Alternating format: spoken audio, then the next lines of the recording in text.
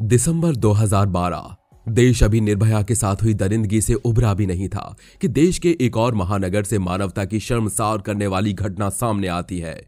दिल्ली की प्रीति राठी नाम की एक मेडिकल स्टूडेंट के साथ मुंबई में हुई इस घटना ने पूरे देश को हिलाकर रख दिया था। आखिर, इस केस में ऐसा भी क्या हुआ था कि इस केस की पैरवी कर रहे वकील ने इसे महिलाओं के साथ होने वाली अब तक की सबसे बर्बर घटना बता डाला था। यही नहीं, इस केस का फैसला सुनाते हुए जज ने एक ऐसी टिप्पणी की थी, जिसे सुनकर सारे देशवासियों की आँखों में पानी आ गए थे। और कौन था वो सिरफिरा जिसने इतनी खौफनाक हरकत को अंजाम दिया था? तो घटना को पूरी तरह से जानने के लिए वीडियो में अंत तक ज़रूर बने रहें। एक मई 2013 की तारीख। जहाँ बाकी लोगों के लिए आम दिन की तरह ही थी तो वहीं दिल्ली के नरेला में रहने वाली प्रीति राठी के लिए आज का यह दिन बहुत खुशी वाला था, क्योंकि प्रीति ने एक ऐसा कारनामा कर दिखाया था जिसके लिए उसके परिवार को उस पर नाज था। दरअसल प्रीति राठी शुरू से ही मिलिट्री में नर्स बनना चाहती थी, जिसके लिए उसने दिल्ली में ही नर्सिंग की पढ़ाई पूरी करके तैयारी शुरू कर दी थी।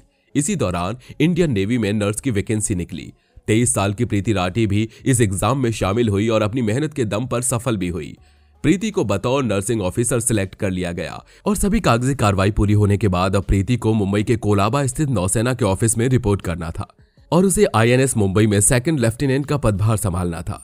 इसी वजह से प्रीति को मुंबई जाना था। यह पहली बार था जब प्रीति को दिल्ली के बाहर जाना था, इसलिए उसे मुंबई तक छोड़ने के लिए पिता अमर सिंह राठी, चाचा विनोद कुमार दहिया और चाची सुनीत दहिया भी साथ में जा रहे थे। इन सभी को दिल्ली के निजामुद्दीन स्टेशन से गरीब रथ ट्रेन पकड़कर मुंबई के बांद्रा स्टेशन पहुँचना था। एक मई 2013 को ट्रेन अपने तय समय पर आ जाती है और ये सभी ट्रेन में चढ़कर अपनी अपनी सीट पर बैठ जाते हैं। ट्रेन दूसरे दिन 2 मई 2013 को अपनी मंजिल पर पहुँच जाती है। ट्रेन आठ बजकर पाँच मिनट पर बांद्रा स्टेशन पर रुकती है। प्रीति, उसके पिता और चाचा चाची सभी स्टेशन पर उतर जाते हैं। ट्रेन से उतरने के बाद सभी अपनी अगली मंजिल की ओर चल देते हैं। प्रीति को ट्रेन से उतरने के बाद काफ़ी थकान महसूस हो रही थी, इसलिए वो धीरे धीरे चल रही थी। प्रीति के पिता और चाचा चाची उससे थोड़े आगे निकल गए थे। उन्हें दूर जाते देख प्रीति भी तेज चलना शुरू करती है। प्रीति ने अभी तेज कदम बढ़ाने शुरू ही किए थे कि वो महसूस करती है कि किसी ने पीछे से उसके कंधे को छुआ है। प्रीति जब ये देखने के लिए मुड़ती है कि उसे किसने छुआ है तो वो देखती है कि इससे पहले कि प्रीति कुछ समझ पाती, उसे नकाबपोश लड़के ने एक डिब्बा निकाला और इस डिब्बे से प्रीति के चेहरे पर कुछ फेंका। जैसे ही वो फेंकी हुई चीज़ प्रीति के चेहरे पर पड़ती है, प्रीति दर्द से चीख पड़ती है। प्रीति की चीख सुनकर उसके पिता, चाचा, चाची और बाकी पैसेंजर्स भी प्रीति के आसपास इकट्ठा हो जाते हैं। प्रीति का चेहरा देखकर साफ़ पता चल रहा था कि किसी ने उस पर तेजाब फेंका है। प्रीति के पिता और चाचा, चाची जैसे ही प्रीति को संभालने की कोशिश करते हैं तो एसिड के कुछ छींटे प्रीति के कपड़ों से गिरकर उनके हाथों में भी लग जाते हैं। लेकिन वो सभी अपना दर्द भूलते हुए प्रीति को संभालने में लग जाते हैं। चाचा और पापा प्रीति को उठाकर स्टेशन मास्टर के रूम में ले जाते हैं। जख्म बहुत गहरा होने के कारण प्रीति की हालत बहुत कमज़ोर होती जा रही थी। इसलिए रेलवे अधिकारी तुरंत प्रीति को दूसरे अस्पताल ले जाने की तैयारी शुरू कर देते हैं और जल्दी प्रीति और अन्य घायलों को भाभा हॉस्पिटल के लिए भेज दिया जाता है। लेकिन प्रीति की नाजुक हालत को देख उसे पास के ही गुरु नानक हॉस्पिटल के लिए रेफर कर दिया जाता है। दूसरी ओर वो नकाबपोश लड़का प्रीति पर एसिड फेंकने के बाद स्टेशन से भागने लगता है। प्रीति की चीख पुकार सुनकर उसके सबसे नज़दीक खड़ा समीर शेख नाम का लड़का उस डिब्बे को उठाकर समझने की कोशिश करता है कि आखिर यहाँ हुआ क्या है। तभी एसिड समीर के हाथों में भी गिरता है और वो तुरंत समझ जाता है कि इस लड़की पर एसिड अटैक हुआ है और वो तुरंत उस नकाबपोश लड़के का पीछा करना शुरू कर देता है। साथ ही वो अपने दो दोस्तों को भी आवाज़ लगाता है, सलीम सलीम, पकड़ो उसे! और वो सभी उस नकाबपोश को पकड़ने की कोशिश करते हैं। लेकिन वो नकाब पोश इन सभी को चकमा देकर भागने में कामयाब हो जाता है। सलीम शेख, समीर शेख और सलमान शेख, ये वो तीन लोग हैं जिन्होंने आगे चलकर इस केस में बहुत बड़ी भूमिका निभाई थी। इसलिए आप भी इन तीनों नामों को ज़रूर याद रखिएगा। प्रीति को गुरु नानक हॉस्पिटल में और प्रीति के पापा, चाचा चाची और समीर शेख को भी भाभा हॉस्पिटल में उपचार के लिए ले जाया जाता है। प्रीति को बेहतर उपचार के लिए जल्द से जल्द मशीना हॉस्पिटल ले जाया जाता है। मशीना हॉस्पिटल पहुँचते ही प्रीति का ट्रीटमेंट शुरू कर दिया जाता है और प्रीति का बयान लेने के लिए पुलिस भी मशीना हॉस्पिटल पहुँच जाती है। समीर शेख को कम चोट आई थी, इसलिए उसे भाभा हॉस्पिटल से जल्दी छुट्टी दे दी जाती है और पुलिस समीर को लेकर घटना स्थल पर पहुँचती है और घटना का पंचनामा दर्ज करती है। पुलिस प्रीति का बयान लेने मशीना हॉस्पिटल पहुँचती है, लेकिन प्रीति का पूरा चेहरा बुरी तरह जल चुका था। साथ ही उसके गले पर भी गहरी चोट आई थी। प्रीति हर एक सांस के लिए लड़ रही थी। प्रीति के भले ही शरीर पर गहरी चोट आई थी, लेकिन उसके हौसले अभी टूटे नहीं थे। प्रीति बोल नहीं पा रही थी, इसलिए उसने हाथों से लिखने का इशारा किया। इसके बाद प्रीति को पेन और पेपर दिया जाता है, और अब प्रीति लिखकर घर वालों से और डॉक्टर से बात करने लगी थी। इस एसिड अटैक की खबर मीडिया में भी जंगल की तरह फैल गई। देश भर में लोगों ने सड़कों पर उतरकर इस घटना के प्रति अपना आक्रोश जताया और दोषी को कड़ी से कड़ी सजा देने की मांग की। पुलिस प्रशासन पर भी दोषी को जल्द से जल्द पकड़ने का दबाव बन रहा था। लेकिन समस्या ये थी कि अटेकर के खिलाफ कोई भी ऐसा सबूत नहीं मिल रहा था, जिससे दोषी को पहचान की जा सके। हालाँकि पुलिस ने उस समय स्टेशन पर मौजूद गवाहों के बयान के आधार पर एक स्केच तैयार करवा लिया था, लेकिन उससे ज़्यादा कुछ पता नहीं चल पा रहा था। इसी बीच 4 मई 2013 को पवन कुमार नाम का एक बीटेक स्टूडेंट प्रीति की बहन तन्नू को फ़ोन करके प्रीति की कंडीशन के बारे में पूछता है। प्रीति को बहन तन्नू इसके बारे में प्रीति के पिता को बताती है और प्रीति के पिता अमर राठी इस बात को पुलिस को बताते हैं। ये जानकारी हाथ लगने के बाद पुलिस गवाहों के आधार पर तैयार किए गए स्केच को प्रीति को दिखाते हुए पूछती है कि क्या तुम इसे जानती हो? जवाब में प्रीति पेपर पर तीन नाम लिखती है, सत्यम, अंकुर और पवन कुमार। अब क्योंकि प्रीति ने भी पवन कुमार का नाम लिया था, इसलिए पुलिस ये अनुमान लगाती है कि शायद पवन कुमार ने ही ये अटैक किया हो। और वो ये जानना चाह रहा हो कि प्रीति ज़िंदा है या मर गई। इसके बाद कुछ दिन की तलाश के बाद पुलिस 9 मई 2013 को पवन कुमार को गिरफ़्तार कर लेती है। इस गिरफ्तारी के बाद लोगों का गुस्सा और बढ़ जाता है। लोग एक तरफ़ दोषी को जल्द से जल्द सजा देने की मांग कर रहे थे तो वहीं दूसरी ओर प्रीति के स्वस्थ होने की भी दुआ कर रहे थे। ये प्रीति को मशीना हॉस्पिटल आई कुछ दिन बीत चुके थे और उसकी हालत दिन ब दिन गंभीर होती जा रही थी। उसके कई इंटरनल ऑर्गन्स काम करना बंद कर चुके थे। प्रीति की यह हालत देखकर मशीना हॉस्पिटल के डॉक्टर उसे बॉम्बे हॉस्पिटल भेजने का तय करते हैं, ताकि उसे और भी अच्छा ट्रीटमेंट मिल सके।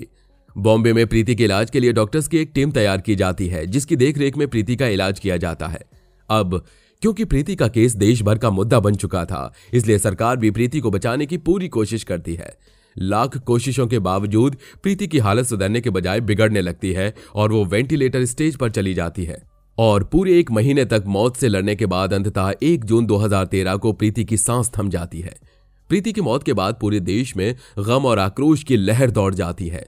जगह जगह पर विरोध प्रदर्शन होने लगते हैं। प्रीति को पोस्टमार्टम के बाद अंतिम संस्कार के लिए दिल्ली लाया जाता है। लेकिन पीड़ित परिवार प्रीति का अंतिम संस्कार करने से मना कर देता है और प्रीति का शव लेकर एक विरोध यात्रा निकालता है, जिसमें इस घटना की सीबीआई मांग की जाती है। अंत में सरकार परिवार की यह मांग मानते हुए घटना की सीबीआई जाँच का आश्वासन देती है, जिसके बाद पूरे राज्य के सम्मान के साथ प्रीति का अंतिम संस्कार कर दिया जाता है। प्रीति के अंतिम संस्कार के बाद पूरे देश की एक ही मांग थी कि उस एसिड अटैकर को कड़ी से कड़ी सजा दी जाए। यहाँ पुलिस ने भी पवन कुमार को गिरफ़्तार कर लिया था, लेकिन समस्या ये थी कि पुलिस को पवन कुमार के खिलाफ कोई सबूत नहीं मिल रहे थे। रेलवे पुलिस भी पवन के खिलाफ सबूत जुटाने में असफल रहती है।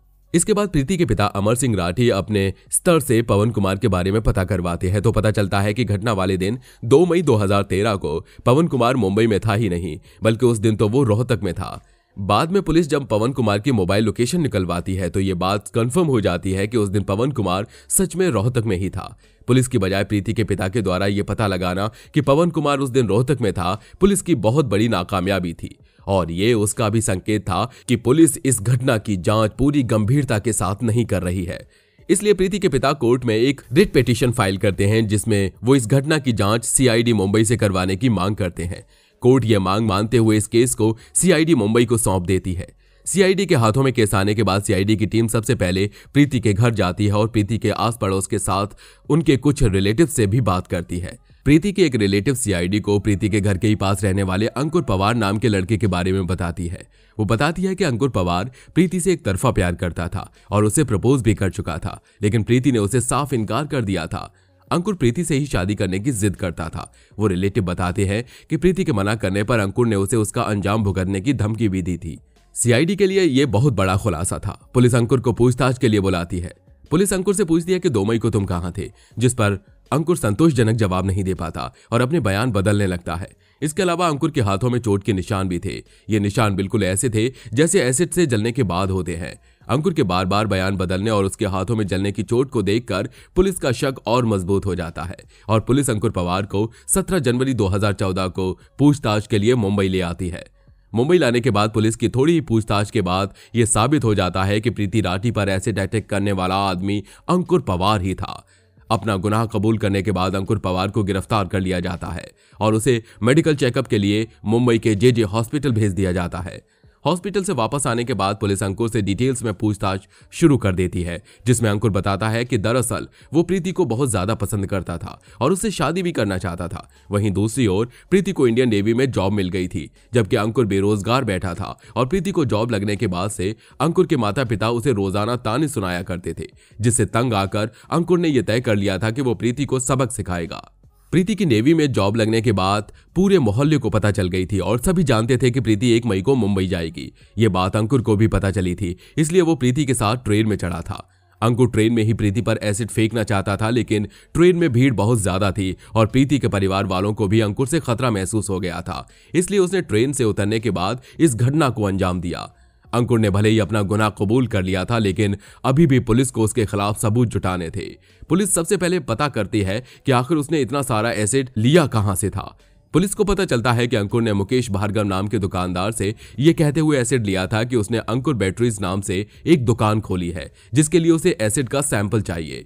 दुकानदार ने बतौर सैंपल अंकुर को हॉर्लिक्स के डिब्बे में दो लीटर एसिड दिया था। अंकुर के खिलाफ और भी स्ट्रॉन्ग सबूत इकट्ठा करने के लिए उसके मोबाइल की लोकेशन निकलवाई जाती है, जिससे पता चलता है कि अंकुर एक मई को दिल्ली के निजामुद्दीन स्टेशन और दो मई को बांद्रा टर्मिनस में घटना के समय भी मौजूद था। इसके बाद पुलिस अंकुर को आइडेंटिफिकेशन परेड करवाती है। आपको बता दें आइडेंटिफिकेशन परेड में दोषी की पहचान करवाने के लिए दोषी को खड़ा करवाया जाता है और उन सभी लोगों को बुलाया जाता है जिन्होंने उस दोषी को देखा हो। अंकुर की आइडेंटिफिकेशन परेड में समीर शेख, सलीम शेख और सलमान शेख को बुलाया जाता है। आपको याद दिला दें कि ये तीनों वही लड़के हैं जिन्होंने स्टेशन में अंकुर को पकड़ने की कोशिश की थी। इस परेड में ये तीनों लड़के और अन्य दो लोग अंकुर को पहचान लेते हैं और कोर्ट में अंकुर पवार के खिलाफ गवाही देते हैं। इस केस की सुनवाई special city civil and session court Greater Noida में शुरू होती है। सबसे ज़्यादा खून खौला देने वाली बात तो यह थी कि जब भी अंकुर को कोर्ट लाया जाता था तो वो अक्सर हँसते हुए आता था। उसके चेहरे पर कोई अफसोस या डर नहीं होता था। यहाँ तक कि कई बार वो मीडिया को देखकर वो विक्ट्री साइन भी बनाता था। पुलिस की ओर से कुल सैंतीस गवाह पेश किए गए थे। सारे सबूत और गवाहों को मद्देनजर रखते हुए कोर्ट आईपीसी की धारा 302 और 326 बी के तहत दोषी पाते हुए अंकुर पवार को पाँच हज़ार रुपए का जुर्माना लगाते हुए मौत की सजा सुनाती है। भारतीय इतिहास में यह पहली बार था जब किसी एसिड अटैकर को फांसी की सजा सुनाई गई थी।